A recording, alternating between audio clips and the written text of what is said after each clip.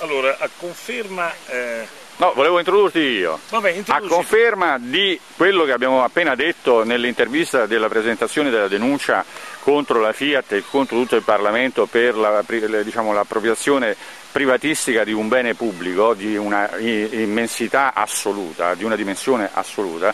Qui oggi con Giorgio eh, vediamo e analizziamo alcuni altri aspetti e alcune altre situazioni contestuali a quello che abbiamo sì, detto. Sì, ma conferma a conferma eh, di quanto abbiamo detto.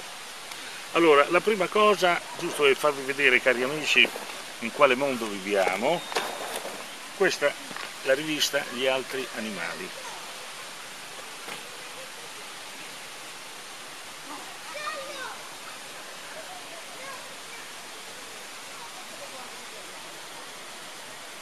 Cosa si nasconde dietro l'uccisione di Daniza?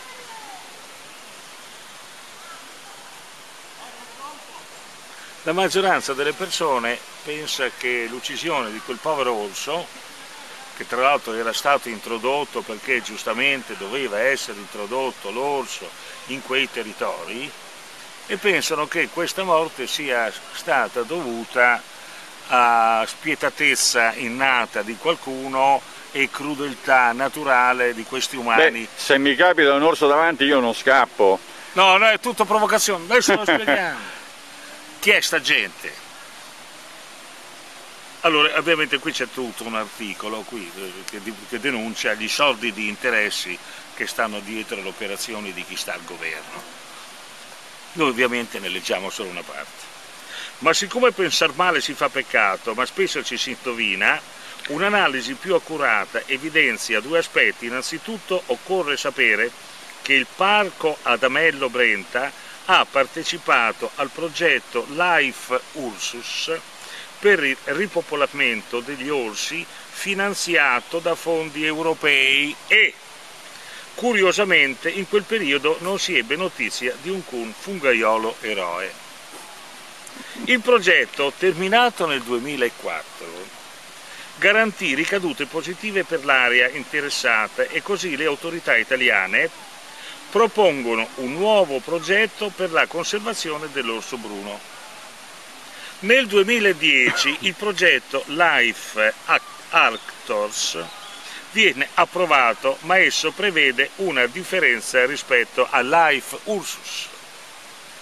Lo Stato italiano deve confinanziare il 32% dell'azione, attenzione, circa 1 milione e 300 mila euro Così, dopo aver intascato i fondi europei, è giunto il momento di aprire il portafoglio, ecco che spunta fuori Daniele Maturi e con lui tutti i rischi derivanti dalla presenza di orsi improvvisamente pericolosissimi, l'emergenza per l'incomunità pubblica e la conseguente necessità di riflettere sul progetto e sul proseguimento del progetto Life Arctos. Il secondo aspetto riguarda le probabili conseguenze qualora il progetto volto al ripopolamento degli orsi venisse interrotto. Possiamo ragionevolmente ipotizzare che verrà legittimata la caccia a questo splendido animale e le migliaia di cacciatori della zona e le loro famiglie e chi guadagna da questa attività garantiscono un bel bottino di voti alle elezioni locali. Chiaro? In conclusione voglio essere costruttivo e proporre alle istituzioni una strada alternativa, dice l'autore. Cosa succede in un paese normale e dunque quali sono le buone pratiche alle quali l'Italia dovrebbe ispirarsi? Dovrebbe, non si è mai ispirato, soprattutto quest'Italia. Anzitutto, in un paese normale, il fungaiolo, che ha dichiarato di essere perfettamente a conoscenza dei luoghi che ha frequentato, viene sonoramente multato per aver disturbato un animale protetto. Inoltre le autorità locali predispongono adeguati segnali per i turisti e per chiunque dovesse ritrovarsi in aree abitati da animali selvatici e inoltre a partire dalle scuole tutti gli uffici pubblici offrono ampio materiale informativo ed educativo al fine di garantire una pacifica convivenza tra uomo e animale e di sviluppare attività economiche belle e sostenibili. Questo avviene nei paesi civili con lo scopo di tutelare l'integrità umana attraverso la protezione degli animali e non viceversa. Quindi questo è quello che no, detto, noi sappiamo va detto della classe che, politica italiana. Eh, va detto una cosa importante, che contrariamente a quello che è diciamo, l'impressione dominante nella popolazione, gli orsi sono intanto già eh, addomesticabili e la dice lunga sulla pericolosità dell'animale. Oddio, io personalmente mali che quei mascalzoni che andavano in per... nelle piazze nel Medioevo. No, lascia stare, no, no, no, non parlo di quello. Io personalmente avevo un amico che aveva un orso e io ci ho eh, giocato più di qualche volta, un bell'orso da un metro e venti di, di, di altezza.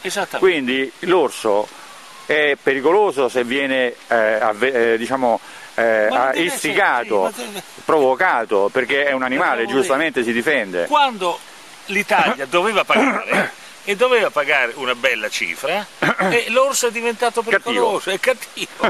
è cattivo, è lì. Prima I soldi buono. se li sono messi in tasca loro certo, e hanno mandato il sappiamo. fungaiolo vestito, hanno mandato il fungaiolo che è un omone perché apposta dice un altro piccolo non avrebbe avuto il coraggio, gli hanno detto ti diamo quei 500 euro, ma, ma, ma forse anche 2, 3 mila, 5 mila. vai a raccogliere le cose, basta che crei l'allarme. Questa è la realtà e noi la vogliamo dire. Poi adesso da questo numero molto interessante, da cui prenderemo in seguito altre cose, perché qui ci sono niente po' di meno che le dichiarazioni di Dolman su chi effettivamente ha lavorato dietro le quinte. Io conoscevo le figlie, l'ho detto. Sì, me l'hai detto. Allora, c'è però si faceva passare per inglese eh? molto interessante si faceva passare per inglese. Sì sì lo so ma hai detto tutto. Eh. sì sì come no. Eh, c'è qui un articolo di Alessandro Vitale si chiama quasi come mi chiamo io e vediamo che questo Alessandro Vitale io qui non lo vedo ehm, parassitismo politico e Stato moderno qui non c'è e vabbè è lo stesso, sarà sicuramente un uomo eh, di cultura. Ah, è qui Alessandro Vitale, ricercatore in relazioni internazionali presso l'Università degli Studi di Milano. Parassitismo politico e Stato moderno. Allora, questi sono quelli che ci governano oggi i vari Renzi, perché Renzi è politico ma fa parte di quella casta lì. A un gran numero di cittadini viene imposto di lavorare per mantenere gli altri. La crescita dei bisogni e gli impegni assunti spingono la classe politica a circondarsi di un esercito di funzionari e di burocrati. In tal modo il parassitismo diventa la faccia nascosta dello Stato moderno e questa è la verità. Ma c'è una logica che io voglio leggere perché la logica affine è, proprio... quella dell'orso di prima. Esatto e beh io sto facendo appunto vedere come ci stanno tutte queste stranissime coincidenze. Il parassitismo eh, economico si collega a quello morale. con, eh, esattamente a quello morale e a una certe modalità comportamentali che facciamo vedere qui. Alle conclusioni conclusioni. Quando il cittadino italiano che, di cui buona parte sono anche questi parassiti. Vede la televisione che eh, Mario Monti, Letta e, e questo stronzo qui fanno delle grandi promesse, dice oh cazzo questi faranno, fanno. invece non fanno niente, perché? per un qualsiasi allora, norma il, di legge. Il nuovo epiteto per Matteo Renzi è l'annunciatore. Eh, appunto. Allora, come, come, gli apostoli, ben inteso. Annuncia una buona novella. Del, del, del buona novella.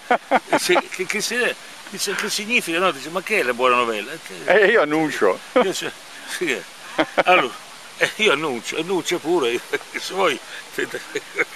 Siamo stati, arriva il momento per tutto. Allora, conclusioni, il parassitismo è dunque la faccia nascosta dello Stato moderno come impresa di potere.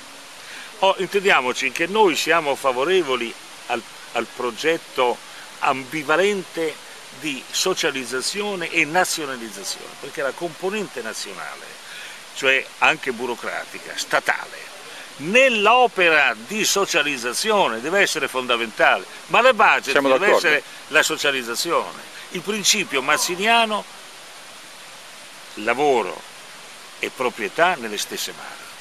Va bene. Allora. La piccola proprietà terriera come, come, facevano, come, facevano, la Repubblica. Quando qui a Veio, come ricordiamo sempre, noi siamo qui a Veio, abitando qui vicino, lì c'è l'ingresso dell'Acropoli, della, della, città alta e della piazza d'armi là sopra, qui esisteva, quando Furio Camillo conquistò eh, nel 396 a.C. Eh, Veio, aveva ben chiaro quello che faceva, intanto eh, faceva la guerra in, in forma semi-privata, come si diceva allora, allora perché eh, ognuno di, dei milites era, eh, si era spesato da sé e quindi aveva parte, diritto era poi coinvolto a parte, conquista. Eh, no, nella conquista e nel bottino. Esattamente. Ecco, la, la, il bottino consisteva, come poi eh, diciamo, de, definì il Senato, in eh, tre ugeri e mezzo di terreno. Che non poteva essere altro che quello, perché quanti vuoi che ci fossero, quante vacche vuoi che ci fossero, Quindi, quanti somari o cavalli vuoi che ci fossero. Tre ettari e mezzo erano tutto il territorio del, dello Stato di Veio, del governo di Veio,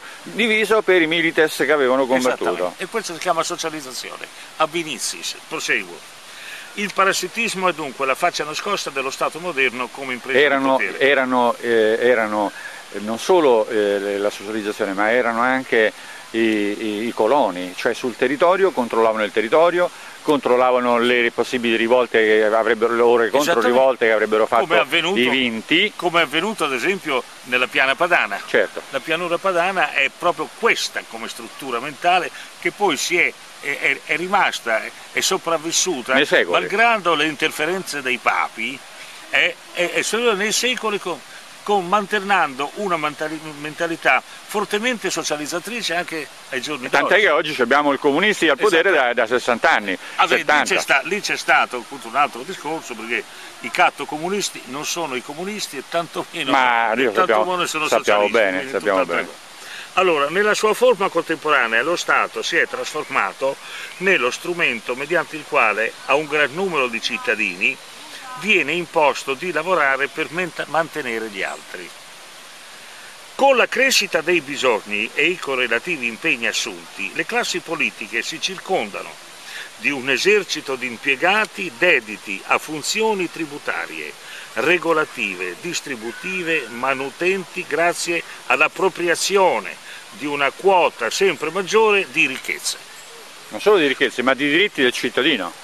Per cui, che prima erano del, cittadino, adesso vengono arrogati allo esatto, Stato. Esatto, per cui quando tu vedi la sordità degli enti che dovrebbero tutelare la giustizia. Gli sono... interessi del cittadino invece sono esatto. i, i, primi persecutori del cittadino. Esatto, perché hanno questi interessi, questi si identificano con questi interessi, è cominciata la magistratura. L'enorme concentrazione di risorse dei cittadini nella disponibilità dei governi moltiplica l'appetibilità dell'ammontare, l'intensità della lotta politica per controllarla, le occasioni di incontrollato parassitismo. La mole imponente delle spese e delle contribuzioni crea dipendenza dei cittadini, in quanto dispensando o rifiutando le elargizioni, ecco, perché ci vuole la rivoluzione, la rivoluzione deve essere nell'intimo delle coscienze, se no la rivoluzione non la fai mai.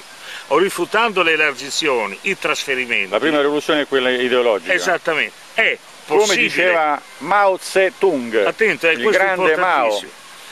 È possibile anche assicurarsi l'obbedienza e la dipendenza, con conseguente aumento di potere e di arroganza c'è scritto tutto, di una chiarezza estrema, che si traduce in facoltà di sottrarre risorse dalle tasche di alcuni per trasferirle in quelle di altri, trattenendone una quota enorme alla disponibilità di chi comanda e amministra.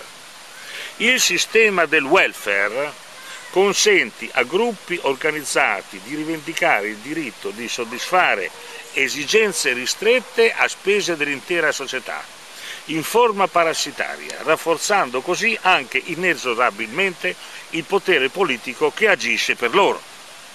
Si tratta di parassitismo abilmente occultato che induce la stragrande maggioranza dei cittadini a pensare che l'autorità politica sia la, la depositaria della sapienza economica, arbitra e deputata esclusiva alla gestione quando noi invece sappiamo, da loro prodotta. Quando invece noi sappiamo perfettamente che è l'esatto contrario. Esattamente, esatto contrario. ecco perché eh, gli strati intellettuali rafforzano questa mentalità presentando come ovvi i compiti della finanza pubblica e il ruolo attivo dello Stato come allocatore di risorse, redistributore di ricchezze, stabilizzatore del ciclo economico, tutti compiti che hanno storicamente prodotto l'allargamento della sfera d'azione del settore pubblico e della burocrazia, fino alla gestione politica di oltre la metà delle risorse prodotte.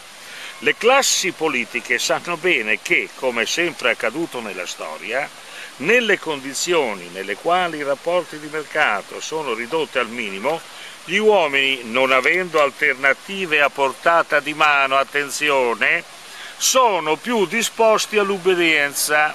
Ecco quindi cos'è e dov'è la confluenza di interessi tra il potere finanziario e il potere di questi L'ammassimento delle dei somari avviene attraverso Esatto. il digiuno. Esattamente. Cioè tu l'animale selvatico o meno selvatico lo addomestici tenendolo ha fame. Esattamente. Quando lui cerca di, di, di diciamo, liberarsi, lo affami. Dopo tre giorni da mangiare quello di lecca la mano. Esattamente, esattamente quello che sta avvenendo oggi. Meno quelli che si suicidano, che non hanno capito un cazzo. L'ho detto, vai a suicidarli, sì, sì, non a suicidarti. Appunto. Quando invece gli scambi si moltiplicano cosa con reciproco vantaggio, tanto più cresce l'opposizione a un'obbedienza incondizionata al potere costituito. L'estensione della sfera pubblica viene presentata come strumento di equità sociale, ma nella realtà è un'arma dei ceti parassitari per aumentare il proprio potere. Aug, aug, aug. Parli allora, troppo, aug, aug. Sì. Allora, qui ce ne sta un'altra. Questa splendida rivista di cultura romana. La civiltà romana primitiva è quella che ha fatto Grande Roma, non quella successiva. Non e allora leggiamo una piccola frase. Cornelia era la base della romanità. Lo Stato di diritto non è legittimo è l'illegalità e l'ingiustizia che si è costituita in ordine capovolto, a proteggere l'individuo libero, tra, tra virgolette, nella sua anarchia, nella sua pretesa di giurisdizione individualistica, nel suo orizzonte esclusivamente materiale e contrattuale relativo. Ogni azione ed ogni espressione sociale è ormai un evento di scandalosa ingiustizia che anche la gran parte dei non versati nelle scienze giuridiche riconosce in modo stridente e lampante, essendo ormai questa pseudo-giurisdizione estremamente lontana anche da qualsiasi riferimento naturale. La pseudo-società attuale questo, è un aggregato... questo chi è? Eh, questo, questi sono grandi pensatori Grandissimo, grandissimi perfettamente d'accordo. Ah, la pseudo-società attuale è un aggregato molto labile di individui che ogni giorno vede allentare sempre di più le corde dei vincoli superiori, che debbono garantire il bene pubblico con la costante delegittimazione dell'intervento giurisdizionale dall'alto e della conseguente giustizia. Ecco la depenalizzazione, il garantismo, la liberalizzazione, eccetera dove dimostra come esiste una possibilità di intervento, ma l'intervento è giusto se ispirato dai grandi principi fondanti della romanità. Se no, se è un intervento a base di burocrati che vivono esclusivamente di, di parassitismo, è esattamente Come farebbero a fare il suicidio eh, personale? è quella la faccenda. La società diviene così un ente sempre più privo di limiti penali e giuridici, un ente bestiale fatto di impulsi incontrollabili. Lo vedete tutti i giorni, lo vedete sotto gli occhi. Vedi, le... Queste sono le persone. Sì. certo, le maschere, maschere della persona. persona. E questi, questi input susseguenti, subentranti, che noi vediamo tutti i giorni sotto forma di proposte di legge assurde, sotto forma di eh, manifestazioni eh, irrazionali, di eccessivo irrazionalismo, come il, il, il gay pride, ad esempio. Sono manifestazioni, eccolo qui che è scritto. La società diviene così un ente sempre più privo di limiti penali e giuridici, un ente bestiale fatto di impulsi incontrollabili e mostruosi, che nessuno più tiene a freno e reprime quando sia il, ca il eh, caso che segue l'utile allucinatorio dell'istinto.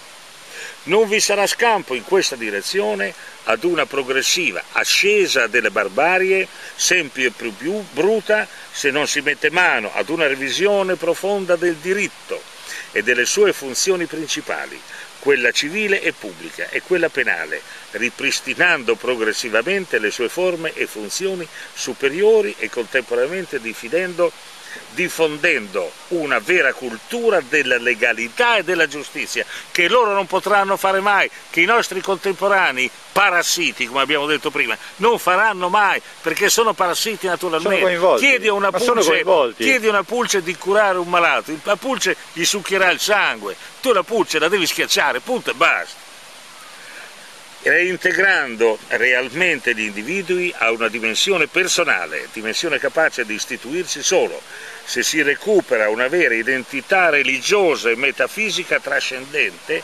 conforme al proprio genio patrio romano italiano. E con questo io sto per concludere, altre cose che volevo dire le dirò un'altra volta, perché devo concludere con questo, questo è il giornale dei preti, avvenire. Allora, qui la Corte ha condannato una povera ragazza per blasfemia. Allora loro pronti, è blasfema la corte che l'ha fatto, ma scusate voi preti, non avete fino a pochissimo tempo fa ammazzato, ancora bruciato, adesso, ancora torturato, adesso. ancora adesso. Ancora adesso. Torturato. Ricordiamoci l'Argentina, ricordiamoci Francesco I. Esattamente, e allora, che cosa? Falsi, falsari, ipocriti, come diceva Gesù Cristo sepolcri imbiaccati. Ciò non toglie ovviamente che anche noi siamo per lasciare, salvare la vita a questa ragazza, ma noi lo possiamo dire, voi no. È chiaro? Basta questo così. ritengo di aver finito. Bene, ciao a tutti.